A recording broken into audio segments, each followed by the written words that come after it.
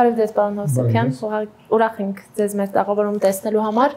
Պարոն Հովսեփյան, իմ առաջի հարցը ես ուզում եմ տալ մեր վերջին հրապարակման հետ կապված, մասնավորապես ձեր ընկերության ձեզ պատկանող At Metlas ընկերության վերաբերյալ, որ թեպետ դուք դատարանում պարտվել եք առաջին Ազիարում Մեղրի համայնքապետարանի եւ ընկերության դեմ քրեական գործ կա, սակայն շարունակում եք հանքանյութը տանել կապան։ Ինչ քրեական գործի մասին է խոսքը եւ ձեր արձագանքը։ Ասեմ նախ ի սկզբանե այդ մենք չենք պարտվել այդ ճիշտ ինֆորմացիա չի, ուղղակի դատարանը հետ է ուղարկել, որպեսզի լրացուցիչ փաստեր ներկայացվի։ Այդ ինչ վերաբերում է քրեական գործին, ուրեմն քրեական գործը էկոլուր է։ Մի տարի կես առաջ մի հոդված էր տպագրել կապված ատեմետալ սնգերության, որ իբրև թե ապօրինի շահագործում է տեղում հանքավայրի եւ ինչ որ արևիկ ազգային պարկի բանը տարածք են ներխուժել, այսպեսի մի հոդված է տպագրել Էկոլուրը եւ դիմել է գլխավոր դատախազին եւ ասելով որ նաեւ հողերի, չգիտեմ ինչ ոչ ճիշտ օգտագործում, ապօրինի շահագործում եւ այլն, այսպեսի հոդված էր տպել եւ դիմել է գլխավոր դատախազին։ Գլխավոր դատախազությունը առանց խորանալու ավելի շուտ ոչ թե մեր նկատմամբ հայկական գործ հարուցել կամ մեր ընկերության, այլ ընդհանուր քրեական գործը հարուցել նաև պաշտոնատար անձանց նկան, որոնք իրենք դիրքը պաշտոնական դիրքը չարաշահելու եւ այլն։ Ոչ մի այսօր, մինչեւ այսօր ոչ մի մեղադրյալ, ինչ որ չկա այդ քրեական գործը։ Այսինքն սարսված է գործը, Սեփյան։ Գործ չի քննվել, գործը ուղղակի հարուցել են այդպես թողել են, ինչպես ասում են, օթում կախված։ Իսկ դրանից հետո անմիջապես մենք երբ որ տեսել ենք այդ հոդվածը էկոլուրը ինչ ա գրել դատախազությունը, ինչը մենք անմիջապես դիմել ենք էկոլուրին ասելով, ներկայացնելով բոլոր փաստաթղթային բազան, հիմքերը եւ ասելով որ պարոնայք հարգելիներս, ինչ եք գրում։ Դուք ինչի մասին եք խոսում։ Ինչ անշանակում ապօրինի հանք շահագործել։ Եվ այդ բոլոր փաստարկները ներկայացնելով, որ մենք արենք ազգային պարկից դուրս է մեր տարածքները կոորդինատներով եւ այլն, այսինքն այդ հիմքերը 100%-անոց բացակայում են։ Եվ դիմել եք էկոլուրը անմիջապես տպել է երկում։ Էկոլուրը եթե նայեք, կտեսնեք իր այդ էկոլուրի հոդվածից հետո նաև տպագրել է նաև մեր պատճառաբանությունները, մեր ներկայացված փաստարկները։ Եվ ընդհանրապես գտնում եմ, եթե մի կողմին լսում ես, պետք է նաև անպայման երկրորդ կողմին լսես։ Ես, ինչպես գիտեք, ես մասնագիտությամբ իրավաբան եմ, եւ տարիներ շարունակ ես եղել եմ սովետական պետության օրոք նաև դատավոր, որից հետո է դատախազության համակարգում, այսինքն 30-ից ավել տարվա իրավաբանի մասնագիտություն ունեմ, կրթություն ունեմ եւ այլն, ես չգիտեմ ինչպես ինչ օրենքը, ինչպես կարելի է օրենքը, ոնց կարելի է օրենքը շրջանցել։ Այդպիսի բան անհնարին է մեր երկրում ընդհանրապես ինչ խոսել օրենքի մասին, որ մենք ապօրինի բան ենք արել այնտեղ։ Դա աբսուրդի, աբսուրդի հասցրած խոսակցություն է, ես ձեզ ասեմ։ Հիմա դրանից հետո մենք դիմել ենք համապատասխան մարմինների, ասելով պարոնայք, մենք ունենք շահագործման լիցենզիա, ունենք լեռնահատկացման ակտ, ունենք շրջակա միջավայրի փորձակնություններ անցած բոլոր փաստաթղթային իրավական բազան։ Եվ դրա համար իրանք ունենք շահագործելու եւ ընդերքի մասին օրենքի 59 հոդվածի 4 կետ ասում են մեր բացառիկ իրավունքն է, լիազորություններն է։ Մենք պետքա շահագործենք, եթե մենք չենք շահագործում, այսինքն եթե մենք հանքակար չհանենք, այդ աշխատանքները չկատարեն, մեզ դրա համար տուգանել են։ Ժամանակին, որովհետև ֆինանսական վիճակներից մի քիչ վատ էր, կանոնել էինք, մեր ռուս ասեմ ձեզ, նախ այս ընկերությունը հայ-ռուսական համատեղ ձեռնարկություն է։ 49.8%-ը մեր հայկական կողմին է, իմ եւ իմ տղաներից, ինչպես գիտեք, մեր ընտանեկան բիզնեսն է, եւ 50 եւ 0.1%-ը ռուսական կողմինն է։ Այնպես որ մենք համատեղ շահագործում ենք եւ ասեմ ձեզ մինչեւ այսօր էլ բանկերի հետ խնդիրներ ունենք, որովհետեւ ես դա վարկային միջոցներ եմ ներգրավել, դրել եմ հողի մեջ, որ կարողամ ինչ-որ մի արդյունք ստեղծել ժամանակին շատ ծանր իրոք ֆինանսական վիճակներում էի եւ դիմեցի իմ ռուս ընկերներին, որոնք եկան եւ մինչեւ այսօր բավականին լուրջ գումարներ են ներդրել։ Եվ այս ռեգիոնում մենք կառուցել ենք մի գործարան, ընդամենը 10%-ն է մնացել, որպեսզի շահագործենք։ 90% աշխատանքն արվել է։ Բավականին լուրջ գումարներ են ներդրվել եւ բնապահպանական այն ամենաիդեալական տարբերակով ենք արել այդ, որպեսզի մենք գիտենք խոսակցությունները, գիտենք այսօրվա ամուր սարի խնդիրը, ընդհանրապես հանքարդյունաբերության նկատմամբ ինչպիսի վերաբերմունք կա։ Բայց այստեղ ես կուզեմ նաև մի բան ասել Մի մի բա երբ որ այս խոսակցությունները գնում են, ես վերադառնում եմ 90 թվականները։ Դուք երևի երիտասարդ եք, ելավ չեք ծնվել երևի, չգիտեմ, բայց 90 թվականներին եթե մեր իմ հասակակիցները կամ մի քիչ ավելի ցածր տարեկի մարդիկ գիտեն թե 90 թվականին ինչ արվեց այդ էլի փակեցինք մեր ատոմակայանը, փակեցինք բոլոր արդյունաբերական ձեռնարկությունները եւ երկիրը ընկավ կոլապսի մեջ։ Եվ մինչև այսօր էլ մենք գործարաններ կան, որոնք չեն կարողանում շահագործել։ Փառք ու պատիվ մեր ատոմշիկներին, որոնք մասնագետները կարողացան դրանից հետո նաև վերագործարկել մեր ատոմակայանը, որը աշխատում է եւ կարողացանք մեր այդ որոշ չափով թեթևացնել, բայց ունեն գործարաններ, որ մինչև այսօր էլ չեն աշխատում։ Ասածս ինչի է ցուցանում, որ փակելը, քանդելը ամենահեշտ բանն է։ Սարքելը, արարելն է դժվար Հասկանում եք։ Երբ որ կառուցում ես, կառուցում ենք մի բան, մենք այսօր պետք է մտածենք ոչ թե փակենք, այլ պետք է մտածենք ոնց ժամանակակից տեխնոլոգիաներով դարձնենք ավելի անվտանգ բնապահպանական խնդիրներով, որpիսի ավելի զերծ մնանք այդ։ Միևնույն է, երբ որ ընդերք է շահագործում, այդ վնասները կան բնապահպանական, բայց այդ բնապահպանական վնասները հարկավոր է հասցնել մինիմումի, ամենացածի։ Տեսեք ժամանակակից աշխարհը այդպիսի պետություն գիտեք, որ իր ընդերքը չի շահագործում։ Չկա։ Նույն Ամերիկայի Միացյալ Նահանգները, Եվրոպան, վերցեք օրինակներ, տեսեք, լավ, Աստված մեզ գազ, նավթ չի տվել, բայց տվել է մետաղական մետաղներ, մետաղական հանքեր, որոնք ճիշտ չհագործելու դեպքում, այսինքն ճիշտ կառավարելու դեպքում մենք կարող ենք մեր բյուջեում զգալի օգուտներ բերել։ Լավ, պարոն Հովսեփյան, նաև կան տեղեկություններ, որ դուք լավ կապեր եք կարողացել հաստատել մարզային իշխանությունների, մասնավորապես քպական փոխմարզպետի Բաբայան Արեգի հետ։ Աբսուրդ, դա, աբսուրդ, ասեմ ինչու։ Որովհետև եթե մեկը գիտի իմ կեսանդրությունը, ես որտեղից եմ եկել, ուր եմ հասել եւ այլն, ոնց եմ եկել, կարծում եմ իր մոտ այդպիսի հարցեր չի առաջանում ընդհանրապես։ Իրենք թող փորձեն ինձ այդ կապեր հաստատել։ Ինչի մասին է խոսքը։ Որևէ խնդիր այս ընթացքում։ Ես ուրեմն այդ որ գրվում է ասում է որ իբր Հովիկ Աբրամյանի վարչապետի Կարեն Կարապետյանի խորհրդական եմ եղել։ Ինչու Հովիկ Աբրամյանի Կարեն Կարապետյանի Տիգրան Սարգսյանի Սերժ Սարգսյանը որոքել եմ ես խորհրդական եղել ինչի մասին է խոսքը նախ այս հանքավայրը երբ որ ես ձեռք եմ բերել ես խորհրդական չեմ եղել երբ որ ես գնացել եմ թոշակի արդեն դատախազության համակարգից դուրս եմ եկել այն ժամանակ եմ ձեռք բերել ես բանը գեոլոգ ընկերներ ունեմ որոնք ինձ ներգրավել են, բայց իհարկե ես իրանց հետ հետո կռիվներ եմ ունեցել, ես ինչ արեցիք, ինձ բերեց ես չգիտեի, ես բնակավարը, որ այդքան ծախսերա պետք անել, ինչքան դժվարությամբ է այդ ամեն ինչը եղել, այտենց հեշտ չի տրվում։ Բայց ես ինչա, այս երկրում իրավունք չունեմ ունենալ, ինչա, բիզնես ունենալը դա ինչա, վատ բան է։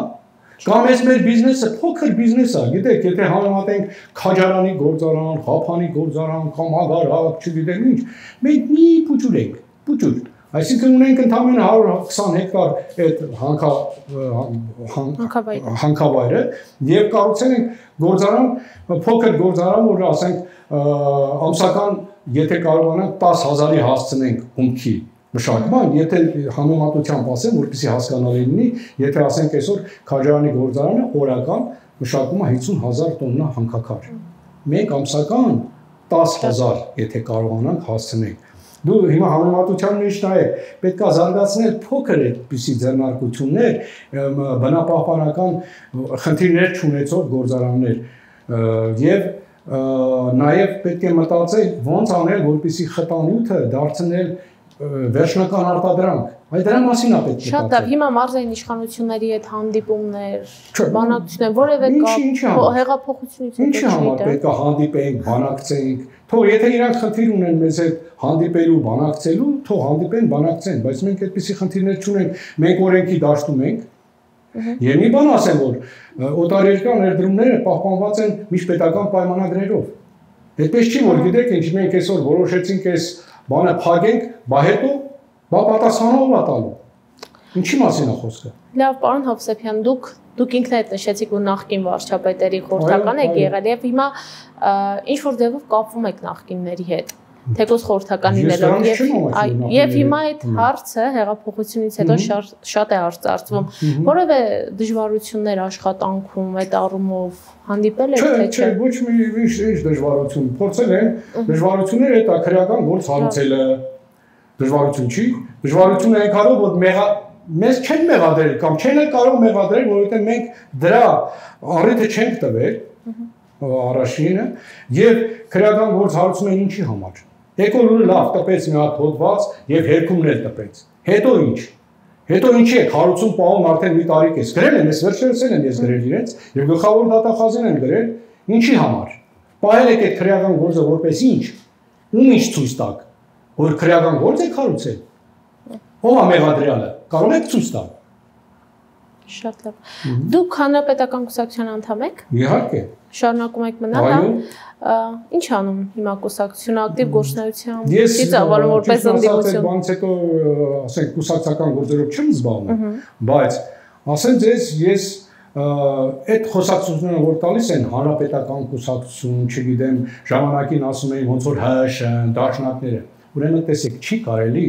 ընդհանուր վերցնել մի ամանի մեջ Ուրեմն այդ հանրապետական կուսակցություն կան բարձր ինտելեկտով, շատ հայրենասեր, նվիրալներ, լուրջ մարդիկ, Նույն ինքը ղեկավար հանրապետական կուսակցության, ինչի մասին է խոսքը։ Հա, ինչի մասին է։ Շեր Սարգսյանի անցած ուղին այ։ Մարտական նրան մերժեցին, եթե այդքան նվիրյալ էր Պարնովսեփյան։ Հիմա տեսեք։ Ուրեմն 90 թվական, ես 90 թվականն այդ падգամավոր եմ ելել, առաջի Գերագույն խորհրդի падգամավոր։ Տեսեք 90 թվականին, երբ որ ասում ենք Լևոն Պետրոսյանին 90% այսպես ձերքերի վրա մենք բերեցինք եւ սովետական պետությունը փլուզում էր, բերեցին։ Երկու տարի հետո այդ նույն ժողովուրդը մերժում էր Լևոն Տեր-Պետրոսյանին։ Պատկերացնում եք։ Այսինքն ժողովրդի հոգեբանության մեջ Հոգեբանություն կա, գիտես ինչ, երբ որ ոնց էս պատրաստում է ժողովրդին։ Տարիների ընթացքում պատրաստվել են այդ ժողովուրդը։ Ասել են, որ գիտեք ինչ, տարել են, թալանել են, կերել են։ Դե հիմա գիտեք ինչ։ Այդ ասողները այսօր իշխանության են։ Դե ինչ անենք։ Այսօր իշխանություն, իշխանությունը հավես չի մտածեք։ Ես ճիշտն ասած մեր ժողովուրդը նաև իշխանություն չսիրող։ Այսօր այս իշխանությանն են ասում, վաղը նույն ասեն, տեսեք, ՀՀՇ-ի մեջ էլ շատ կային ինտելեկտով բարձր մարդիկ, երբ որ ժամանակին էլի մերժում էին ՀՀՇ, ես ասում եմ, տղեկ, այդպես չի կարելի։ Որտեւ այնտեղ էլ կան շատ ինտելեկտով զարգացած, բարձր հայրենասեր մարդիկ Հիմա տես հանրապետականին անցան կամ հետո ասում էին դաշնակները։ Դաշնակներն հիշում եք մի ժամանակ այդպիսի բաներ կնում դաշնակների դեմ, որ ես այն ժամանակ էլ էի ասում, այդ նույն դաշնակների մեջ շատ պարկես, շատ հայրենասեր, շատ նվիրալներ կան։ Լավ մարդիկ միշտ էլ կան ամենտեղ։ Չի կարելի թացը չորի հետ խառնել։ Հիմա ԿՊ-ի մեջ կա։ Իհարկե կա։ Իհարկե, չեմ կարծում, որ ԿՊ-ի մեջ ԿՊ-ի մեջ են կան հայրենասեր մարդիկ, երիտասարդ տղաներ, աղջիկներ, որոնք համոզված են, որ նվիրալներ են այս երկրի պետության։ Բայց ինչա, կան նաև այնպիսիները, որոնք ընդունելի չեն, բայց չեմ մի կգա մի ժամանակ այս նույն ժողովուրդը կարող է ԿՊ-ին էլ մերժի։ Հասկանում եք, այդպես չի կարելի ասել մերժել կամ չմերժել։ Մեզ պետք է համախմբել Մեզ միասնություն է պետք։ Մեզ մեր ժողովրդին համախմբել է պետք, որովհետեւ տեսեք ինչա կատարվում այսօր աշխարհում։ Տեսեք ռեգիոնալ ինչպիսի շարժումներ են, Թուրքիայի ակտիվությունը։ Մենք այդ ամեն ինչը թողած ընկել ենք ինչ որ բաների հետևից։ Մենք դրա մասին պետք է մտածենք։ Ես ինքս Արցախյան ազատամարտի գիտեք ակտիվ մասնակից եմ, այդքան հերոսներ են ունեցել։ Ես ինքս արիության մեդալով ապարգևատրված մարդ եմ եւ այսօր էլ Արցախյան ազատամարտի վետերանների միության պատվավոր նախագահն եմ, ղեկավար հիմնադիրն եմ, հիմնադրել եմ, Սասունցի Դավիթ Ջոկատի հիմնադիրն եմ, ունեմ հերոսներ, Կարկադի Տեր Թադևոսյան կոմանդոս, Յուրա Հովանիսյան, Հակոբյան Արսեն, Սամվել Գևորգյան, պետք այդքան այդ մարդիկ են իմ շրջապատս, իմ անցած ճանապարհս այդ այդ ճանապարհով անցել։ Եվ հիմա եթե ես այս երկրում փորձել եմ ինչ-որ մի բիզնես անեմ, որ կարողանամ իմ ընտանիքս եւ այլն ինչ որ մի բանով զբաղեմ, չէ, պետքա մենք էլ ապրենք, չէ։ Ու դա դիտարկում են, չգիտեմ, ինչ ուղղորդված հոդվածներ, շարժումներ, չգիտեմ ով է։ Ինչ ինչ են ուզում այս մարդիկ, ինչի համար են անում դա։ Այս մի տարի կես այդ քրեական գործ հարուցել են, անիմն կախված ասենց։ Դա ինչ, որ ինչ, ինչի համար։ Շատ լավ։ Դուք գոհ եք այսօրվա իշխանությունից։ Կախնա Ես այդպեսի բան չեմ, ես չեմ ուզում որևիցե բան ասել գոհ կամ ոչ գոհ, քիչ առաջ ես մեկնաբանեցի, որ մենք իշխանություն չսիրող ազգ ենք, ընդհանրապես չենք սիրել նախկին առաջին նախագահային, չենք սիրել երկրորդ նախագահային, չենք սիրել երրորդ նախագահային։ Չորթի ոնց որ սիրում է ժողովուրդը։ Չէ, դա դապարի դավրին է, ոնց որ ասում եմ, ռուսը ժամանակավոր բան է, ասեմ ձեզ։ Տես հիմա երեք ամուրսարում Փաշինյանը ժամանակին դուրս եկավ, ասեց, որ պետքա բացել աշխատեն, հիմա տեսեք ինչ են անում։ Բա ինչի՞ չեն, այդ նույն ժողովուրդը չէ՞։ Ինչի՞ չի սիրում բա։ Բա չի սիրում, որ իր ղեկավարը այսօր այդպիսի բաներ ասում, հիմա չեն սիրում, որ չեն լսում։ Բան ոնց։ Այդ դու ժողովուրդը չի։ Այդ նույն ժողովուրդը չի, այսօր ժամանակին փակում էր այն ճանապարհները։ Այսօր փակում է այս ճանապարհները։ Վաղ փակի մեկ այլ ճանապարհ։ Հետո ի վերջո պետքա որոշում ընդունի, ի վերջո մենք պետություն ենք թե ինչ։ Պետական ինստիտուտները պետք է աշխատեն, հարգելիներս։ Չեն աշխատում։ Դե պետք է աշխատեն։ Ես ուզում եմ որ աշխատեն։ Որովհետեւ ես ուզում եմ ես ուզում եմ այլ ոնց որ ասում էին այս նոր իշխանությունները սիրո եւ համերաշխության, չէ՞։ Չկա համերաշխություն սիրով եւ համերաշխ լինենք, բա ինչ են կանում մենք։ Ինչու չեն կանում դա։ Չկա սեր եւ համերաշխություն։ Դե չեք տեսնում դուք։ Չէ, մարկած մեջ, մարկած մեջ։ Չգիտեմ։ Դուք տեսնում եք Ես ճիշտ ասած չեմ ուզում որ ես ժամանակին ասեմ ձեզ նույն ձեր տաղավարում նույն ձեր թերթում բավականին լուրջ հրապարակախոսականներ են ունեցել, քննադատել են մեր նախորդ իշխանությանն էլ, մյուս իշխանությանն էլ, եղել, հոդվածներ են ունեցել, բավականին շատ, հարցազրույցներ են տվել։ Հիմա այս վերջի տարիներ մի քիչ Հատիկ չէ, որտեղ տարիքսել են, չէ՞, մի քիչ տարիքը իր խոսքը ասում, հա, հասկանում եք, թողնում եմ երիտասարդները, թող ապագան մտածի։ Եկեք մտածեք, ժողով ջան, այդպես չի։ Մեկեք տեսեք մենք ինչ միշտ պատմությունից դասեր չենք քաղում։ Մենք պատմության մասին շատ ենք խոսում։ Ասում ենք այ 15 թվականի ցեղասպանություն, այդ լավ ենք հիշում բայց դրանից առաջ եւ դրանից հետո ինչ ենք արել մենք Պարոն Հովսեփյան, իշխանապահությունից հետո պաշտոնի առաջարկ եղել է որևէ տեղից։ Ոչ, ոչ, ոչ։ Ես իմ տարիքս այդպես ինչի որ ինձ պաշտոնի առաջարկ լինի։ Շատ լավ։ Ես 70 անց եմ արդեն։ Թերևս 65-ա չէ՞ մեր։ Թերևս վերջին հարցը դուք նաև ազատամարտի վետերանների միության նախագահն եք, գործում է միությունը, ինչ է, ինչով եք հիմա զբաղվում ակտիվություն։ Հիմա որ ասեմ այդքան ակտիվ չենք, անապահով խաղն է, ազատամարտիկները դրանք այն մարտիկ են, որոնք որ պատերազմին տվեցին ամեն ինչ, կորցրեցին ամեն ինչ։ Այսօր այսօր էլ հələ դեռ ժամանակին ես պատրաստել էի օրենք մեր ազատամարտիկների, վետերանների սոցիալական վիճակը բարելավելու եւ այլն այդ օրենքը տենց էլ մնաց թղթի վրա հա ամեն անգամ թարմացնում ենք թարմացնում ենք որպեսզի այդ սոցիալական խնդիրների լուծումը գտնի բայց այդ իշխանություն իշխանություն անցնում է համագործակցություն չկա ԵԿՄ-ի հետ, թե բացարձակ չկա։ ԵԿՄ-ն էլ մեր հարազատ ընկերներն են, մարտական ընկերներն են, ոչ չկա, ինչու չկա։ Կա Սասուն Միքալյանի օրոքել կա։ Հա, իհարկե, ինչու՞ չէ։ Մենք միշտ էլ համագործակցել ենք, համագործակցելու ենք եւ Աստված մի արի, որ չհամագործակցենք, որովհետեւ մեր այդ շրջապատը, ասենց ասեմ, ազատամարտիկները Նրանք ամեն րոպե կանգնած են իրենց երկրի վտանգի դեպքում, միշտ հիշում եք, ապրիլյան 10 ապրիլի 10 այդ ապրիլյան պատերազմի ժամանակ ինչպես համախմբեցին բոլորը Այս Տաուշյան դեպքերը նաև էլի պատրաստ էին հայտարարությունները, չգիտեմ լսել եք թե չէ։ Մի խոսքով, մի խոսքով համագործակցություն։ Համագործակցություն։ Շնորհակալ եմ շատ պարոն Հովսեփյան հարցազրույցի համար։